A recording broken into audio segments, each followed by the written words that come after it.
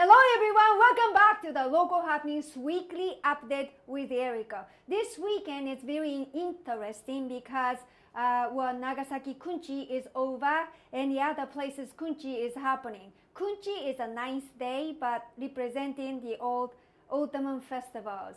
This weekend in Sasebo City, the desserts. Uh, we, in Japanese, we call desserts sweets.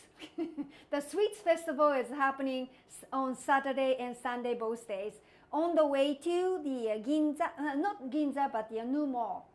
Uh, Longways Route 11, you're walking the back road and you swing around and then you find the Saibu Gas Company and that is where you will see the all different, like 15 to 16 different uh, dessert stores. They're competing each other and you taste it, and they're going to find who is the best um, patisserie, which is the dessert uh, makers.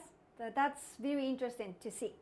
And also the the Hasamicho. Hasamicho is going to have the the harvest festival, and it is called the limestone because there is a cave, Nanatsugama Caves. So the Nanatsugama Cave is Cosmos Flowers Festival. is happening this weekend and also in Sasebo, oh, the Takashima Island, 30 minutes ferry boat ride from Ainoura port, you can get to Takashima, and that is where the Takashima uh, Autumn Festival, and on Sunday, and uh, the local high school, the Hisa, uh, they're going to, have the women's high school is going to have the, at the August That's on Saturday.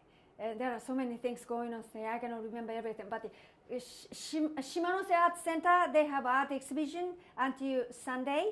And um, I believe that's about it. Sorry.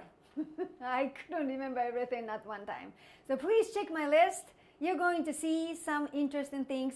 And please wait until next week to have the uh, big festival because uh, Sasebo City is hosting the dance festival next week. So please wait for the uh, great news next week. Thank you so much for listening. Please have a wonderful day and a wonderful week. See you next week.